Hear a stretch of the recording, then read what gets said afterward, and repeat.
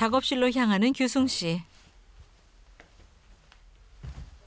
집 전체를 고루 비추는 환한 햇살 덕에 기분마저 화창해진다. 작업실은 큰 창틀을 통해 채광과 통풍은 물론 주변 풍경의 변화도 놓치지 않도록 집을 설계할 때부터 특별히 신경 썼다.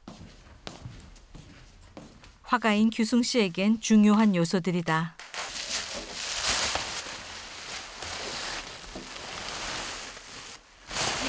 뭐 안 풀으려고.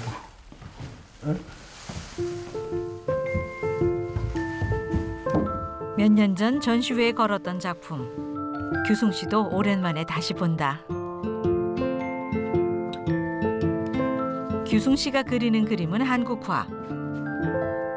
요즘은 먹은 쓰되 종이를 한지 대신 수채화지로 바꿔 쓰며 자신만의 화풍을 완성시켜가는 중이다. 그림은 그래도 그래도 몇 년 만에 한 번씩 꺼내서 바람을 쐬줘야 돼. 거풍을 해야 된다고 그러나?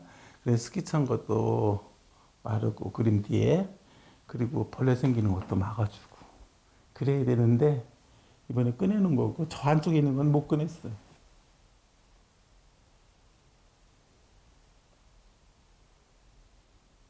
우리 동네 와서 그린 그림 딱 하나 이거 하나만 그렸어요. 이 밭이 비탈된 밭을 자드락이라고 그래요. 근데 이제 그 밭, 밭하고 밭 사이에 길들과 이런 것들이 잘 어우러지게 그린 것이지요. 이거를 더 해야지요. 앞으로 이어서 이런 그림을 더 해야 되는데 지금은 머릿속으로 계산만 하고 있어요. 계산만 하고 있으니까 언젠가는 그래야 돼. 우리 동네를 그려야 되는 게 자기가 살고 있는 동네를 그려야 그래도 여기 사는 사람들한테도 어 그런 걸 그리셨네 이렇게 되겠죠.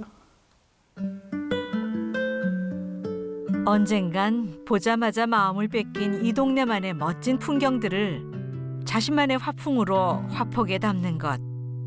요즘 규승 씨가 꾸고 있는 꿈이다. 학교 그만두기 전에 작업실에서 한 3년 동안 미술실을 해서 미술실 옆에 작업실 조그만 공간이 있어 내가 작업실을 만들었어요.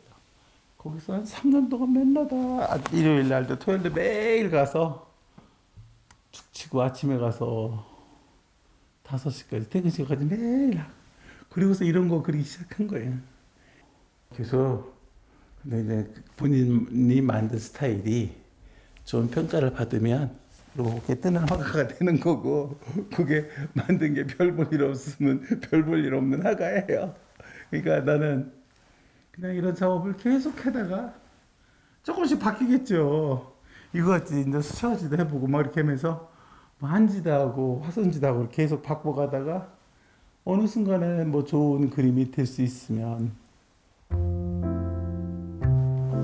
선생님으로는 은퇴했지만 화가로선 여전히 꿈 많은 현역이다.